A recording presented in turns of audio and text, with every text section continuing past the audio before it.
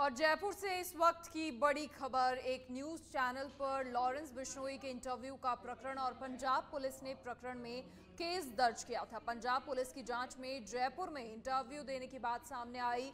Zoom app पर Lawrence Bishnoi ने interview दिया था और अब जयपुर की लालकोठी पुलिस ने केस दर्ज किया है। और जैसे ही ये पूरी इंटरव्यू देने के बाद सामने आई तो पंजाब पुलिस ने भी प्रकरण में केस दर्ज किया था और पंजाब पुलिस की जाँच में जयपुर में इंटरव्यू देने की जब बात सामने आई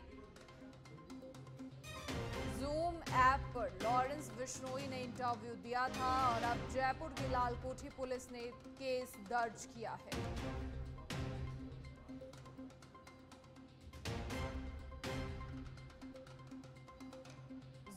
ऐप पर लॉरेंस बिश्नोई ने इंटरव्यू दिया था।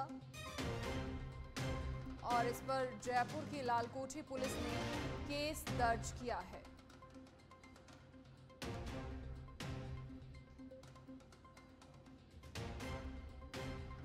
अधिक जानकारी के लिए सहयोगी राकेश दाधिच फ़ोन लाइन पर फ़िलहाल जुड़ गए हैं। राकेश क्या कुछ पूरी जानकारी न्यूज़ चैनल पर लॉरेंस बिश्नोई के इंटरव्यू का पूरा प्रकरण और फ़िलहाल अब जयपुर में लालकोठी पुलिस की ओर से भी मामला दर्ज किया गया है?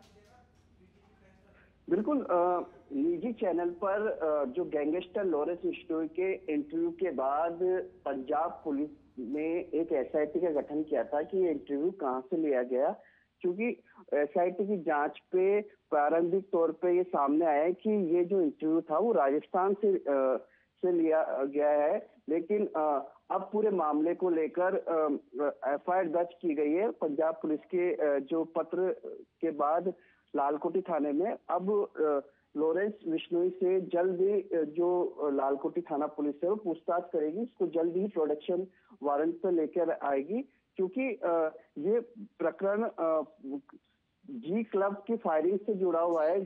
जब जी क्लब पर फायरिंग की गई थी, उस प्रकरण पर गैंगस्टर लॉरेंस विश्नोई का नाम आया था। जब पूछताछ के लिए इस लॉरेंस को जवाहर सर्किल थाने में लाया गया था और लंबी पूछताछ की गई थी पूरे प्रकरण को लेकर, उसी वक्त एक निजी चैनल पर लॉरेंस विश्नोई का इंटरव्यू प्रसारित हुआ था। उस इंटरव्यू के बाद पंजाब पुलिस, दिल्ली पुलिस और राजस्थान पुलिस ने पूरी जाँच की थी। हालाँकि पूर्व जयपुर पुलिस कमिश्नर ने उस इंटरव्यू का जयपुर से होना खारिज कर दिया था लेकिन अब एसआईटी की जाँच के बाद अब जयपुर पुलिस भी पूरे प्रकरण को लेकर एक जल्द जाँच करेगी और जल्द ही जयपुर पुलिस कमिश्नर बीजू जाट जोसेफ के नेतृत्व से एसआईटी का गठन किया जाएगा। जी। राकेश देखिए जब ये पूरा मामला सामने आया था तो उस दौरान भी कहीं ना कहीं आ, दो राज्यों के पुलिस की जो नींद है वो उड़ गई थी, लेकिन उसके बाद में पुलिस कमिश्नर आनंद श्रीवास्तव की ओर से उस वक्त कहा गया था कि जयपुर पुलिस की कस्टडी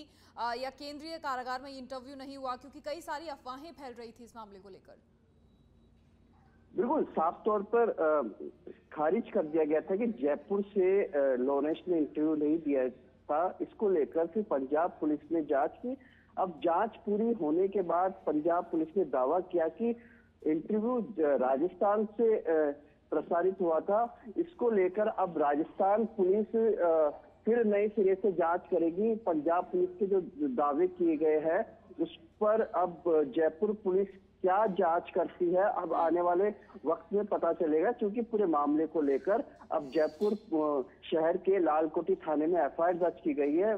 थाना अधिकारी को प्रारंभिक तौर पर जाँच दी गई है। उसकी जाँच के बाद ही स्थिति साफ़ पता चलेगी।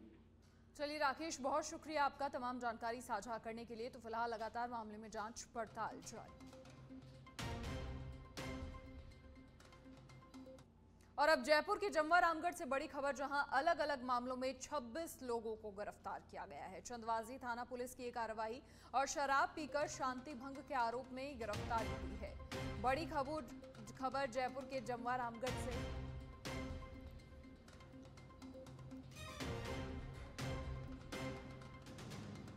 चंदवाजी थाना पुलिस की कार्रवाई।